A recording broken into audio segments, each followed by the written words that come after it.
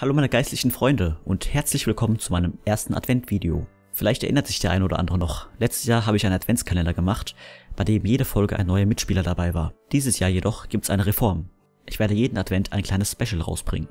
Da heute der erste Advent ist, werde ich euch eine Geschichte erzählen. Eine Geschichte, die ich selbst vor nicht allzu langer Zeit verfasst habe. Wir hatten damals im Deutschunterricht den Arbeitsauftrag, die Kain- und Abel-Geschichte als Krimi umzuschreiben. Falls ihr die Kain- und Abel-Geschichte nicht kennt, würde ich mir auf jeden Fall nochmal eine Zusammenfassung im Internet anschauen, da ihr meine Geschichte sonst nicht kapieren könnt. Eine Sache sei noch gesagt, in dieser Krimi-Geschichte spielt Gott der Detektiv.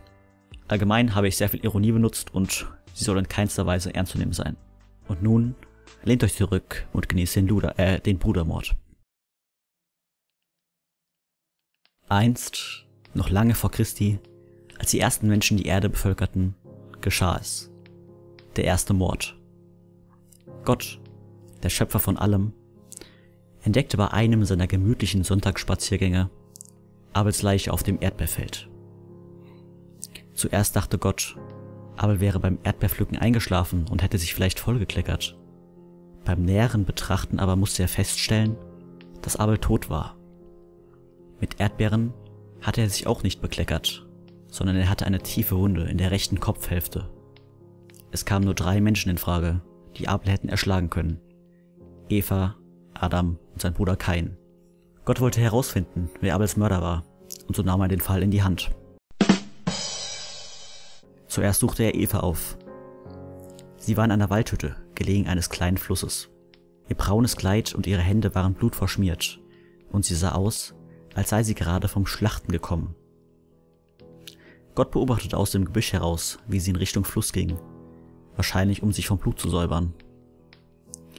Bevor sie dies tun konnte, flog Gott zu Eva und sagte, Sei gegrüßt, Eva, da habe ich dich wohl auf frischer Tat ertappt.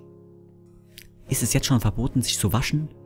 Du holst ja schon rum, wenn man einen deiner ach so tollen Äpfel stiehlt, sagte Eva mit einem verärgerten Unterton. Schweig, ich sehe an deinen Händen, dass du deinen Sohn Abel erschlagen hast. Abel wurde erschlagen? Ich würde niemals meinen eigenen Sohn umbringen, erwiderte Eva geschockt und empört. Wie erklärst du mir denn das Blut an deinen Händen und an deiner Kleidung? fragte Gott. Eva sagte nur trocken, ich habe meine Tage und schreitete davon. Bevor Gott Eva weiter reizte, begab er sich zu Adam, Abels Vater. Er saß alleine an einem Tisch im Wald. Auf diesem Tisch war ein Messer, an dem Blut war. Hinter ihm lag ein Haufen gehacktes Holz, das er wahrscheinlich die Tage über gehackt hatte. Die Axt jedoch funkelte rot, da sie voller Blut war.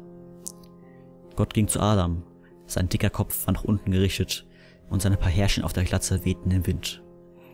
Hallo Adam, ich habe dir eine Nachricht zu überbringen. Dein Sohn Abel ist tot. Aber ich denke mal, das weißt du schon. Er wurde ermordet. Und warum dort ein blutverschmiertes Messer und eine blutgetriefte Axt liegen, brauche ich wohl gar nicht mehr fragen. Abel saß erstmal erschrocken da, sagte dann aber mit einer geschockten Stimme, Abel ist tot? Er wischte sich die Tränen aus dem Gesicht und sprach nach einer kleinen Pause, ich könnte niemals meinen eigenen Sohn töten. Ich bin unschuldig, Herr. Und wie erklärst du mir, dass zwei benutzte Waffen bei dir herumliegen? fragte Gott. Ich habe mir gerade ein Erdbeermarmeladenbrot mit Honig geschmiert. Als ich den Honig besorgen wollte, kam ein ausgewachsener Braunbär auf mich zu und wollte mich meines Honigs entwenden. Ich nahm die Axt und schlug zu. Das an dem Messer ist außerdem bloß Marmelade, die mir kein brachte. So, so, sagte Gott nachdenklich. Dann bleibt nur noch kein. Guten Hunger dir, Adam. Ich werde nun deinen zweiten Sohn zur Rede stellen. Mahlzeit. Und so suchte Gott den letzten Verdächtigen auf. Kein. Er biss gerade genüsslich in eine dicke Gurke. Seine Haare wehten im Wind und er sah aus, als ob er gerade mächtig Spaß hätte. Plötzlich jedoch würgte und hustete er, als ob er keine Luft mehr bekäme. Und tatsächlich, vor lauter Spaß an der Gurke vergaß er zu kauen, und das Stück blieb ihm im Halse stecken. Keuchend und würgend lag er da, die Hände auf der Brust, die Augen geschlossen. Gott kam herbei und fragte Kain, Sag schnell, hast du Abel ermordet? Kain keuchte nur noch ein Ja, möchte gern Detektiv heraus. Er hörte auf zu keuchen, und Gott sah, wie das Licht in Kains Augen erlosch. Er war tot. Natürlich fragte sich Gott, welche Gründe Kain hatte, seinen eigenen Bruder zu ermorden. Jedoch hatte er da schon eine Idee. Beim alljährlichen Gurkenvergleich gewann bisher jedes Jahr Abel. Er hatte immer die längste.